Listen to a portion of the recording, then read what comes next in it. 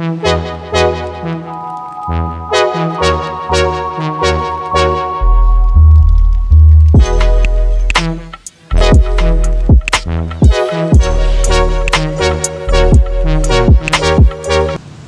kasalukuyan, what's up guys? Welcome back to Mars Daily, your daily dose of photo and video and a little more about me. So ngayong araw, mag-shoot tayo ng wedding film.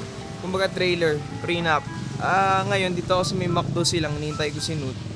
Ang call time namin is dapat 6am nandito na kami.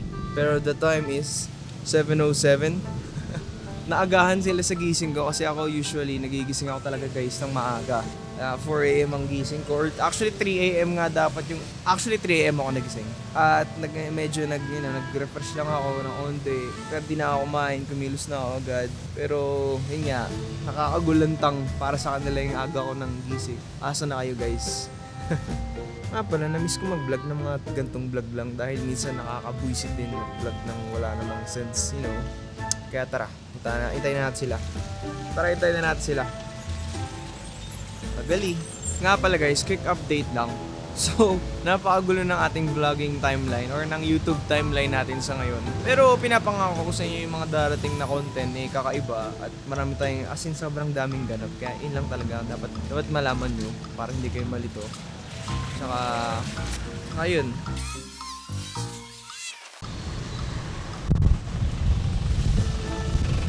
Sir, gusto tayo dyan. Bangag mang bangag na bangag pa.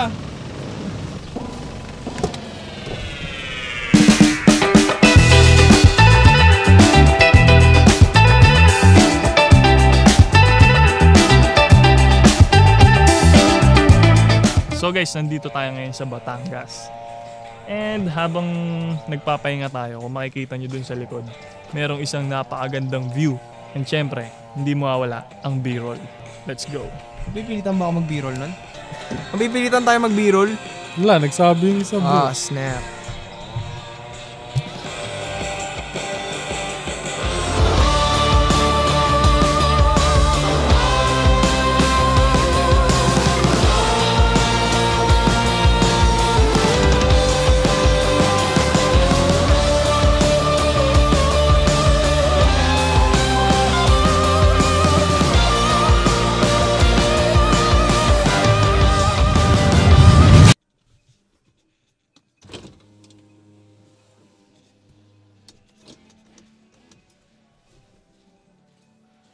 So yung nakita yung video kanina, yun yung shoot namin kahapon.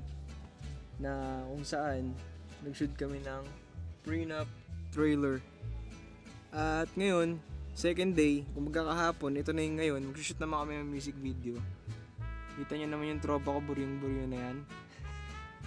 Sobrang grinded na kami. Out of passion, talagang apoy na apoy. So, sumobra, sumobra ba yung apoy? Sakto lang. Saktong apoy lang. Matagal ko rin pinangarap tong ganito na halos everyday may, may, may shoot. No. Itong, itong boy videographer freelance. Pag nagsawa ka kasi sa events, ano eh. Ito na yung i-aim mo. Kung ano-ano na. Kung ano-ano na, music video, corporate things. Siguro yung wedding, pasundot-sundot na lang. Pero yung mga, yung mga ganito, ibang, mas ibang ano na siya, ibang taste na. Kumbaga ibang ano na, ibang experience na. Kasi minsan nakakasawa din yung events, nakakasawa din yung mga kliyente na demanding. Tapos, mababa naman magbigay. Kami naman todo invest sa equipment. Sila rin todo invest sa pagkuripot. Di ba? Kasi hindi naman tama yun guys eh. Alam niyo naman yung mga Martians na yung buhay ng isang videographer is all about almost nearly improving your skills and upgrading. Diba? Putol. Lugi. Hindi naman pwedeng yung, Kuy, kuha mo yung event namin. Birthday ng anak ko. 1.5. Ito, ko sa inyo. Hindi, totoo yun guys. Nangyayari talaga yun sa amin. Understood naman kung nag-uumpisa ka lang, eh, maliit na bayad lang. Importante masipag ka. Pero kasi kapag medyo lumevel up ka na, Nararamdaman mo naman yun eh. Pagka parang lugi na ako, napakaswerte sobrang pagod ko na pero ganito pa rin yung Yung kinikita. Yun, GG. Tamang ano lang. Naramdaman mo naman yon kung kailangan mo kung ano, kung magle-level up ka na ng presyo, magtataas ka na ng rate. Naramdaman mo yun nalugi ka sa pagod. Gusto mo ba ng high quality video coverage? Ngunit sa very affordable price, Gusto mo ba ng aerial shots at ng same day edit? sa very affordable price, Ano pang hinihintay mo? Ikaw na ang gumawa. Hirap eh, mahirap kasi guys talaga, po seryoso. Kaya yung mga... Ha? Ayun na sila. Yan na, Mag-shoot mag-shooting na ulit kami guys. So, ito quick preview or behind the scenes ng music video namin today. Kada mula.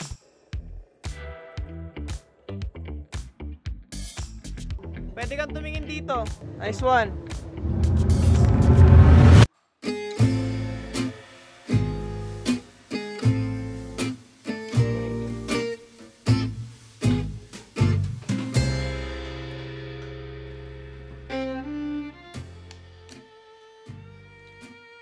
So yun yung ganap namin these past few days and ngayon lang ulit ako nakatulog na maayos. sa wakas, nakapikit din ng mahimbing, nakatulog din ng mahimbing. Just to share with you guys, hindi lang yung work, halos parang nagwo-work na rin ako every single day dahil sa mga ganap namin. And I am thankful for that. Isa sa mga gusto ko pala i-share sa inyo, bukod sa sobrang busy these past few days, we also have a new member of the family. And he's sleeping right now. Pataw sa inyo. Blue. Hi. Tulog ka muna. Yeah, siya si Blue. Our new dog. So, ano nga ba ang dapat nyo expect these past few days or these upcoming days? Mga bagong event, bagong vlog, bagong experience, bagong ganap. So, hindi ko pa rin kayo pababayaan mga Martians kasi sasama ko kayo sa journey ko every single day. At, syempre, kasama ko sa mga adventures ko si John Sinut. At hanggang ngayon, hindi ko pa rin na-upload yung Balita Vlog but it's okay kasi may naisip na akong may naisip na akong content para doon kasi sila sila yung ibang members ng ng, ng Trinity Squad or ng Vlog Squad ay ah, nakapag-upload na. At ako hindi pa rin. Kasi may nangyari sa hard drive ko. Yung hard drive ko nasira. So, it's my fault. I have to pay to get it fixed and recovered. Hindi ko lang sure kung maayos pa siya but alam ko mare-recover pa siya so kailangan ko mag I need to work hard sa mga upcoming days para mapaayos yung hard drive ko. So, at syempre, kung out of this world ka, huwag mo na rin kalimutan na mag-like, comment, share, and subscribe. Wish me luck on the upcoming days. Peace out.